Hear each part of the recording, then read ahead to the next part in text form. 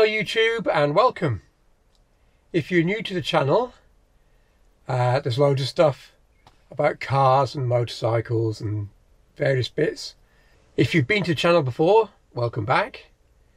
A slightly different scenario this time, as you can see. Anyway, I'm inside my camper van. I'm getting it ready for a little trip I've got planned. And we're going to go to Dumfries and Galloway which is part of southwest Scotland. I'll be away for a few days and I intend stopping at free camper stops and I'll do separate videos of them so that if you do fancy coming up this way and you've got a camper van, you've got an idea of where you can stop. There are loads of campsites. I won't cover any campsites because there are dozens of them up there. Uh, they're all fairly small and pre-booking might be advised given the situation at the minute with staycations, but uh, I'll leave campsites alone. So I will show you on the map where we're going to be going today. And then there will be subsequent videos and I'll give you the little route I intend following each day as we go. So for today, this is the main route, the main run. Let's have a look. Now I live in Derbyshire so I will be going up the M6 round Carlisle to Gretna where I'll then turn off to Annan. And from Annan I'll drop onto some minor roads little yellow roads run along the, the Firth and then cut up to Glencaple. And that's where I'll be spending the first night. So let's go and have a look Right, we're uh, heading north on the M6 now. We're above, uh, beyond Blackpool. It's remarkably quiet. I didn't expect it to be really busy, to be honest, but it is remarkably quiet. It was very heavy rain leaving Derbyshire, but the sky in front, hopefully you'll be able to see, is uh, clearer. So I'm hoping that's the end of the rain. Anyway, there's no point letting you watch loads of motorway action because it's really, really dull. So I think I've probably got another hour and a half and I'll bring you back when we hit Scotland.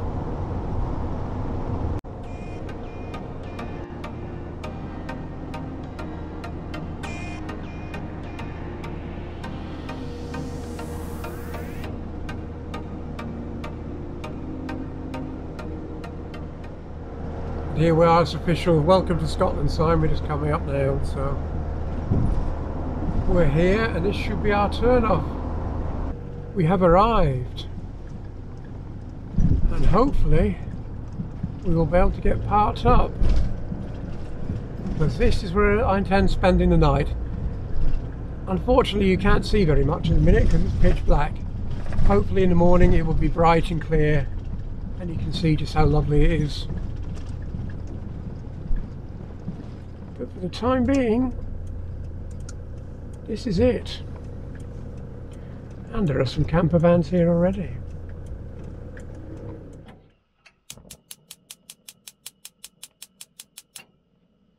Good morning and welcome to the first full day of our little trip. We're at the Glencaple Park Up. There'll be a separate video about that showing you the layout of the place in case anyone wants to visit. It's a beautiful, beautiful place. Very peaceful night. Woken to the sound of birds pattering on the roof. Lovely. Just really, really lovely. Well, there's the view out the uh, back door first thing this morning. Just a patch of blue sky. As my grandmother used to say, if there's enough blue to patch a Helaman's trousers, or trousers in fact, then it'd be a good day. So this is Glencaple. That's the River Nith that you see panning off up there. That heads up to Dumfries. It is a beautiful spot. Got a small village just on the right. An absolutely ideal place to spend the night.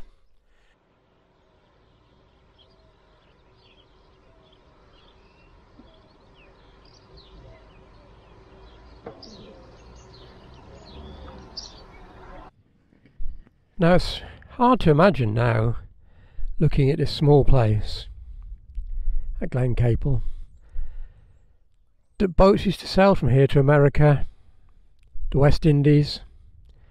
Tobacco used to come in down the Nith, along with uh, Spanish wine, various uh, fancy goods from around the continent. So this was a, a bustling and busy place, and in addition to the ships bringing all that produce, there was a healthy smuggling business going on as well because tobacco was heavily taxed. It's also hard to work out looking at the place, but they used to build ships here as well.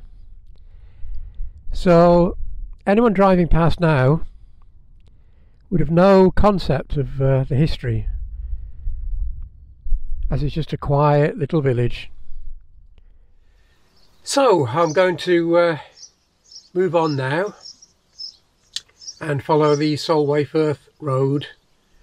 Before we set off then today, the map's back out and I'll just show you where we're going to go. We're going to go from Glencaple up into Dumfries and then back down the other side of uh, the Nith Estuary, New Abbey, down round here past Sandy Hills, Rockcliffe, and then up round Dalbeattie, all the way down here to Kirkcudbright.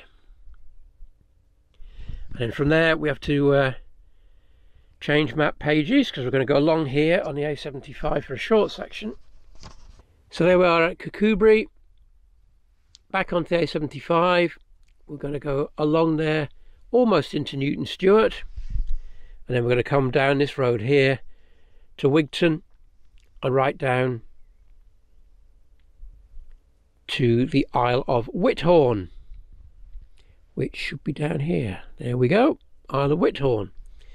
There are free camper stops there and at Wigtown so we should be looking at both of those. So I'm going to pack up put the batteries on charge for the camera because uh, they seem to go down very quickly on these little action cameras and uh, just see what we can find. So let's go and have a look. Right, this is the uh, historic village of New Abbey where unsurprisingly there is a very old abbey which I'm just going to park up and show you. It's a, a very old corn mill which outside COVID times was open for visits and no doubt will be again in a couple of weeks. This is a charming little village, very historic.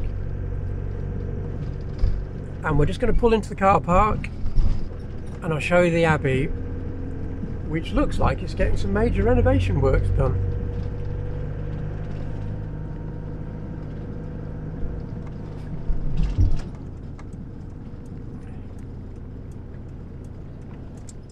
Right, this is Sweetheart Abbey. It was uh, founded by Lady Devorgilla in the late 1200s and her husband was a John Balliol who was the founder of Balliol College at Oxford. So some real medieval history tied up in this place. Now it's called Sweetheart Abbey because he died and she was so heartbroken she had his heart embalmed and put into a casket and then she built the abbey a couple of years later. And then when she herself died, she insisted that she be laid to rest, clutching the casket with her late husband's heart in. And the monks who ran the place were so impressed by this devotion that they called it the Sweetheart Abbey. So there you go, a piece of medieval romance in southwest Scotland. Now this is a, an imposing building really for an area of such low population but this part of uh, Scotland in Dumfries and Galloway was uh, the heartlands at that time of Scottish independence. This was a power base for uh, the Scottish kings and people like Robert the Bruce and so on. As a, they had a lot of support around here. So there you go. There was money, power, influence, and ultimately an expression of love.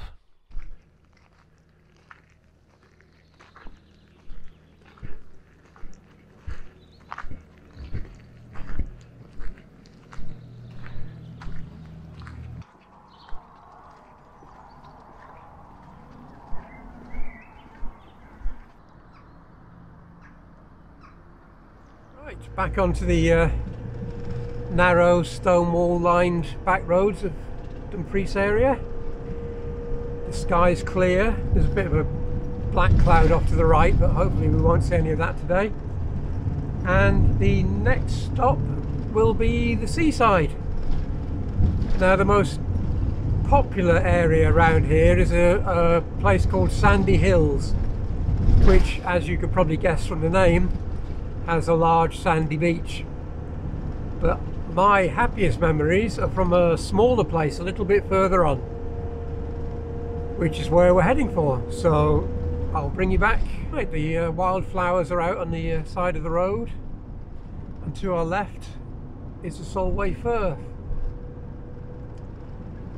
Now, most of this section is you're separated from the sea by privately owned farms. However, when I was small, the farmers used to let you drive on their tracks down to the beach. Don't know if that still happens, but I have fond memories sitting in the back of a Ford Anglia as we bumped down the farmers' tracks to get down to the seaside. So you never know. Maybe that survives in the summer. The farmers might open up the fields and let you get down In fact, we'll nip down to the viewpoint and just have a look at the sea.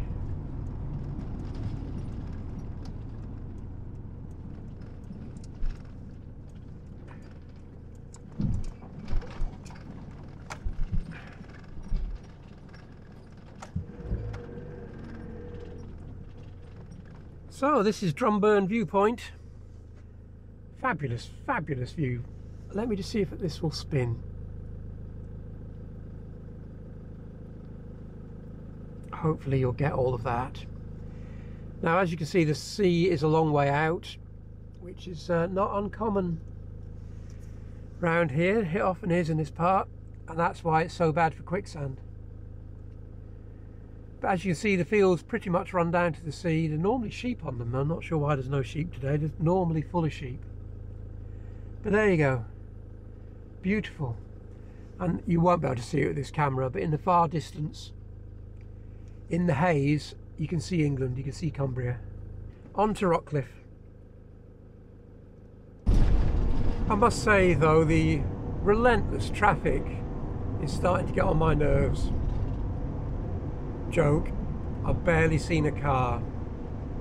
It's uh, considering the beauty of this area, it really is one of the quieter corners of Scotland and undeservedly so who knows, maybe somebody watching this video might be uh, tempted to come and have a look.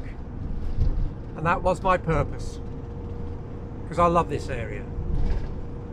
So anyway, I just had to say that as we drove along. So before we get to uh, Rockcliffe, I'd forgotten about this place and I thought I'd just show you it. So why is there an American flag flying here next to the Saltire in southwest Scotland. How strange. And now we'll tell you why. Because this little cottage is the birthplace of John Paul Jones. And John Paul Jones lived in the mid to late 18th century. And he left this little cottage and went to America, where he eventually became a Commodore of the American Navy and a hero of the American Revolution. Because he, uh, I believe, I don't know how many, but I believe he was very active in the fight against the British. So the British regarded him, not unreasonably, as a pirate, essentially. But to the Americans, of course, he was a hero. And the French thought he was pretty good too, because they were never that keen on the British at the time either.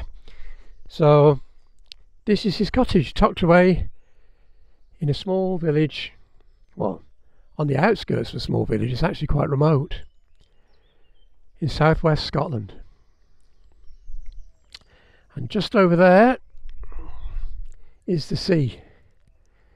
So he lived a stone's throw from the sea. So it was obviously in his blood. So there you go, an American hero from southwest Scotland. Also here, there's a, a camping and caravanning club, I think. I think it's them. A certified location with five places, £15 a night. We're passing Sandy Hills. Hopefully as a sweep round you'll see a bit more of the beach, which is not massive, but it's lovely. And then there's a campsite right on the beach, which is always popular. It looks quite busy now because it's such a charming little spot. And also there's a bit of a microclimate along this part of the Solway Firth. It's, it seems to stay a lot milder than anywhere around it. It's uh, always seems to be more pleasant.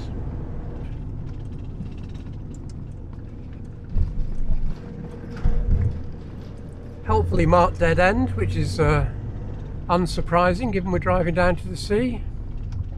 I'll just pull over and let this person get through.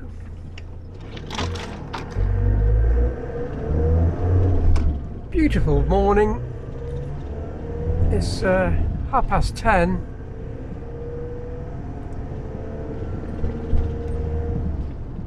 Not boiling hot because it is still early May, but nice enough.